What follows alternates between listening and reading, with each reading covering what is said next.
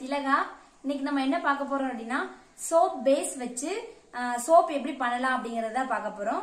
இன்னைக்கு நான் வந்து பீட்ரூட் சோப் வந்து எப்படி பண்ணலாம் அப்படிங்கறத நான் காட்ட போறேன். வாங்க பார்க்கலாம். பீட்ரூட் சோப்பு செய்ய போகிறோம் இன்னைக்கு. பீட்ரூட் சோப்பு செய்யறதுக்கு வந்து பீட்ரூட்டை வந்து ஒரு சின்ன பீட்ரூட்டை நான் அப்படி குட்டி குட்டி குட்டியாக கட் பண்ணி போட்டிருக்கேன். ஃபர்ஸ்ட் இதை ஒரு சுத்து சுத்திக்கலாம். அதுக்கப்புறம் இதில் வந்து நான் ரோஸ் வாட்டர் சேர்த்து தண்ணி சேர்க்காம தண்ணிக்கு பதிலாக ரோஸ் வாட்டர் கொஞ்சமாக சேர்த்து அரைக்க போகிறேன் நல்லா மையா அரைச்சிக்கணும். இதை நம்ம இப்போ வந்து அரைச்சி எடுத்துக்கலாம். இதில் கொஞ்சம் நான் ரோஸ் வாட்டர் சேர்க்க போகிறேன்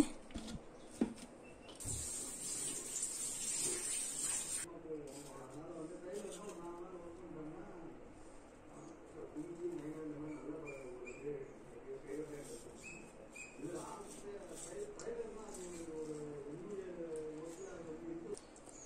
இதை விட நம்ம வந்து ஆலிவரா ஜெல் சேர்க்க போகிறோம் அது வந்து நேச்சராக நம்ம வந்து நான் வீட்டிலேருந்தே வந்து கற்றாழையை பறிச்சுட்டு வந்து அதில் உள்ள ஜெல் எடுத்துகிட்டு இருக்கிறேன். இதை லைட்டாக மிக்சியில் ஒரு திரு திருட்டோம்னா நல்லா ஜெல்லு மாதிரி கிடச்சிரும் நம்மளுக்கு. பீட்ரூட்டை நம்ம ரோஸ் வாட்டரோட அடிச்சு வச்சோம். அதோட வந்து நான் இந்த கற்றாழையை அடித்தோம் பார்த்தீங்களா அதை சேர்த்துருக்கேன். இதுக்கப்புறம் வந்து நான் வந்து ஆலிவ் ஆயில் சேர்க்க போகிறேன் ஆலிவ் ஆயில் இல்லாதவங்க வந்து தேங்காய் எண்ணெய் சேர்த்துக்கோங்க.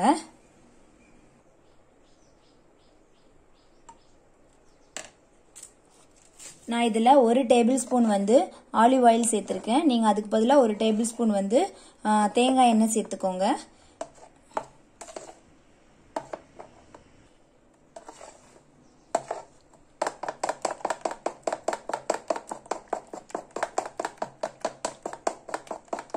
எல்லாத்தையும் நல்லா கலந்துக்கோங்க.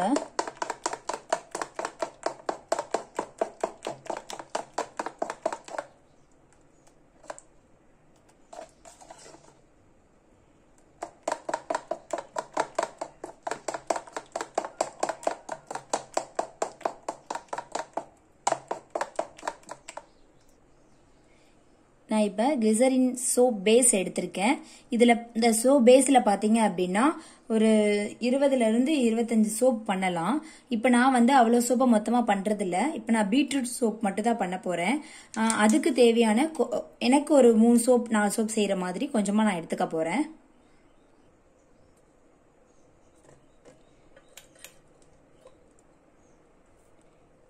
இது நம்ம வந்து டபுள் பாயிலிங் மெத்தடில் பண்ண போகிறோம் அதுக்காக ஒரு பாத்திரத்தில் வந்து நான் வந்து இதை குட்டி குட்டியாக வந்து கட் பண்ணுறேன் இதை மெல்ட் பண்ணணும் இல்லையா? அதுக்காக.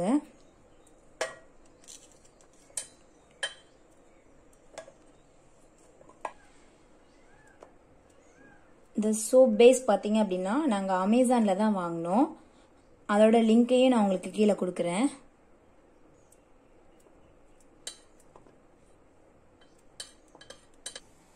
இப்போ ஒரு பாத்திரத்தில் நான் தண்ணி வச்சிருக்கேன். தண்ணி வச்சு அதை காய விட்டுருக்கேன். தண்ணி காஞ்சிருச்சு. கொஞ்சம் சூடாயிடுச்சு. இப்போ வந்து நம்ம வந்து இந்த சோப் பேஸை இப்படி மேலே வைக்கலாம். இது அந்த சூட்லேயே வந்து இது நல்லா உருக ஆரம்பிச்சிடும் இது நல்லா உருகட்டும். ஃபுல்லாக கம்ப்ளீட்டாக அந்த கட்டி இல்லாமல் உருகணும்.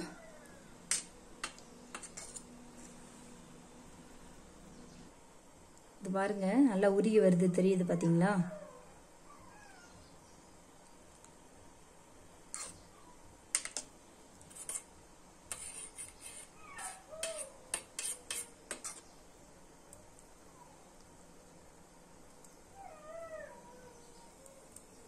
பாருங்க சோப் பேஸ் வந்து நல்லா உருக ஆரம்பிச்சிருச்சு. நான் இது எந்த அளவுக்கு எடுத்திருக்கேன் அப்படின்னா சோப் பேஸ் பாதியும் நம்ம எடுத்திருக்க அந்த பீட்ரூட் கண்டென்ட் அது கொஞ்சம் பாதியும். அந்த அளவுக்கு நான் எடுத்திருக்கேன்.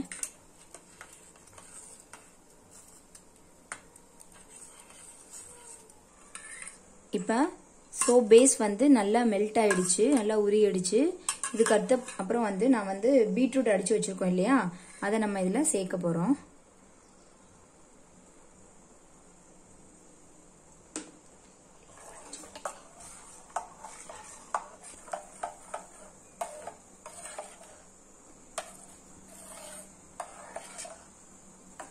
அதோட நல்லா கலந்துக்கலாம்.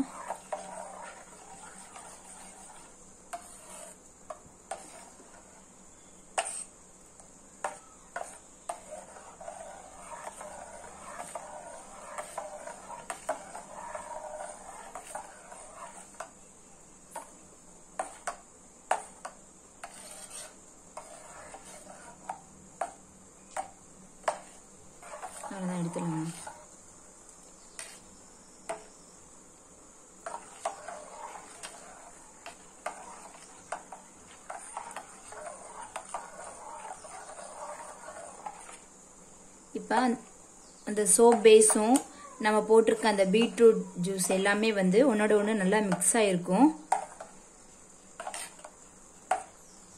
பாருங்க பீட்ரூட் கலரே வந்து சேஞ்ச் ஆயிடுச்சு.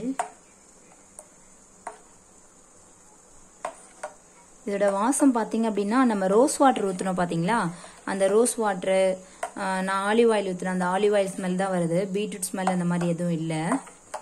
பச்சை ஸ்மெல் வரும் பார்த்தீங்களா அந்த மாதிரி எதுவுமே இல்லை. பீட்ரூட்டோட பச்சை ஸ்மெல்லே இல்லை.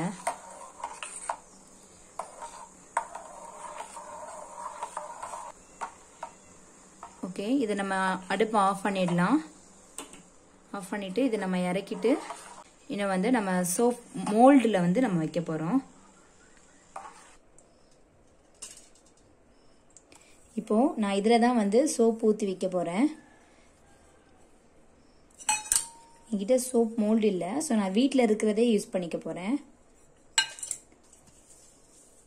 இப்போ இதை வந்து நம்ம ஊற்றி வச்சு இதை வந்து நம்ம ஃப்ரீசரில் வைக்கணும். ஃப்ரீசரில் இல்லைன்னா நம்ம வந்து வெளியிலேயே ஒரு நாள் ஃபுல்லாக வைக்கலாம். ஃப்ரீசரில் வச்சிங்கன்னா அஞ்சு மணி நேரத்துலேயே உங்களுக்கு வந்து சோப்பு ரெடி ஆகிடும்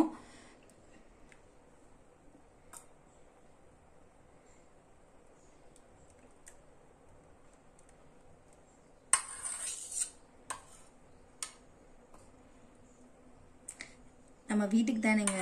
அதனால ரவுண்டாக பெருசாக இருந்தாலும் நம்ம யூஸ் பண்ண தான் செய்வோம். அதனால நான்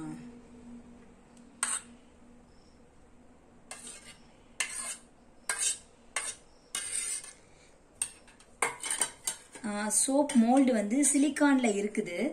அது வாங்கினீங்க அப்படின்னா நம்ம இந்த மாதிரி தேங்காய் எண்ணெய் எதுவும் தட தேவையில்லை. அதுலேயே வந்து ஷேப் படி இருக்கும். ரவுண்டு ஸ்கொயரு அப்புறம் ரெக்டாங்குலர் ஓவல் ஷேப்பு எல்லாத்துலேயுமே வந்து அந்த சோப் மோல்டு வந்து கிடைக்கும். ஆன்லைன்லேயும் கிடைக்குது. அதுலேயும் நம்ம ஊற்றினோம்னா அது ரொம்ப ஈஸி நம்ம இந்த மாதிரி எண்ணெய் தடவ தடவை தேவையில்லை. பாத்திரம் ஒவ்வொன்றா தேடி அதில் போட்டு அதுலேயும் தேவையில்லை. அதில் வந்து நல்லா சோப் மோல்டில் அதை ஊற்றி வச்சிங்கன்னா நல்லா அழகாக அந்த ஷேப்புக்கு வந்து சோப் நம்மளுக்கு கிடைக்கும். பரவாயில்ல. நம்ம அதெல்லாம் வாங்க முடியாது. அதனால நான் வந்து இருக்கிறத வச்சே வந்து நான் சோப்பு மோல்டாக யூஸ் பண்ணிக்கிட்டேன்.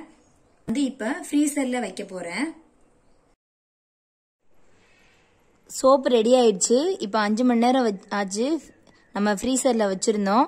இப்போ இதை வந்து நம்ம வெளியில் எடுக்க போகிறோம்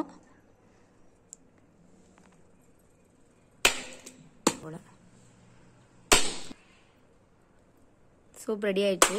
இப்போ இதை வந்து ரெண்டு தட்டி தட்டி நான் இதில் கவுத்தியிருக்கேன். பாருங்கள் சோப் ரெடி ஆயிடுச்சு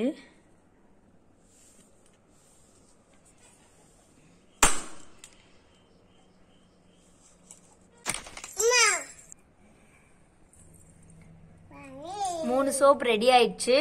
இது லைட்டா மேல ஈரப்பதம் இருக்க தான் செய்யும். ஏன்னா நம்ம வந்து ஃப்ரீசர்ல வச்சிருந்தோம் இல்லையா? இதை கொஞ்சம் வெளியில வச்சிருந்தா அது சரியாயிடும். அதுக்கப்புறம் நம்ம அதை யூஸ் பண்ணிக்கலாம். இந்த இதுல லைட்டா அந்த இருக்கிறத மட்டும் நான் தேய்ச்சிருக்கேன். இங்க பாருங்க. எவ்வளவு நல்லா முறை வருது பாருங்க. நல்லா நுர வருது. இந்த தட்டுல காலி ஆயிருச்சான் என் பொண்ணு காலி காலின்ட்டு கொண்டு போறா தட்டை. நல்ல நுர வந்திருக்கு. நான் தண்ணியே ஊற்றலை இத்தனைக்கும் கையில். அப்படியே தேய்ச்சிருக்கேன்.